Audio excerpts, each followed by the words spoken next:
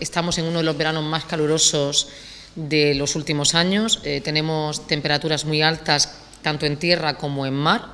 Eh, se ha hablado incluso en los últimos informes que hemos consultado de un incremento de 6 grados de temperatura por encima de la media en las temperaturas habituales que tenemos, por ejemplo, en el mar Mediterráneo.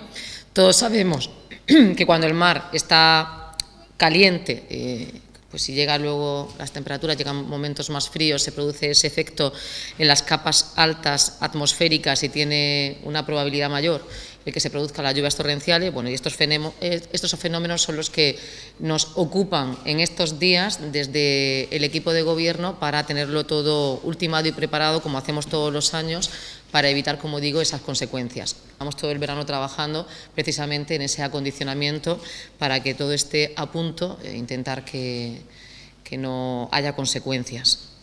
La medida principal contra las inundaciones es eh, asegurarnos de mantener limpios todos los elementos del sistema de drenaje y de evacuación de aguas, es decir, mantener limpia toda la red de alcantarillado y del sistema de ramblas, sobre todo en los tramos que tiene competencia el ayuntamiento, que son los tramos urbanos, además de que ya hemos instado a la Confederación Hidrográfica que haga lo propio también en lo que es su competencia.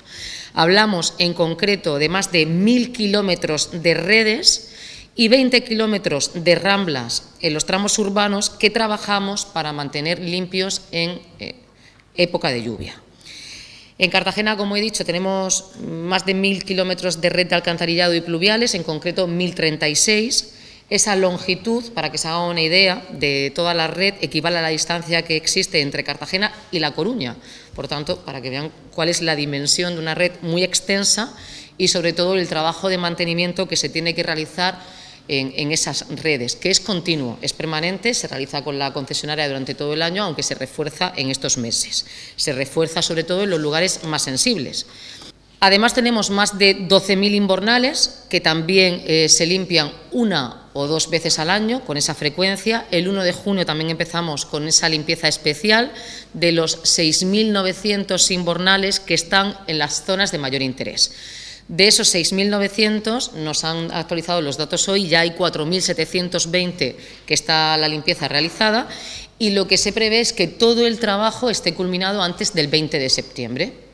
Eh, también decía anteriormente que estamos trabajando desde el primer momento, junto a las redes de pluviales y de, eh, drenaje y de alcantarillado, en las ramblas que tienen los tramos urbanos en nuestro municipio. En total son 26 ramblas en Cartagena con tramos urbanos, son un total de 36 tramos que suman 20 kilómetros lineales.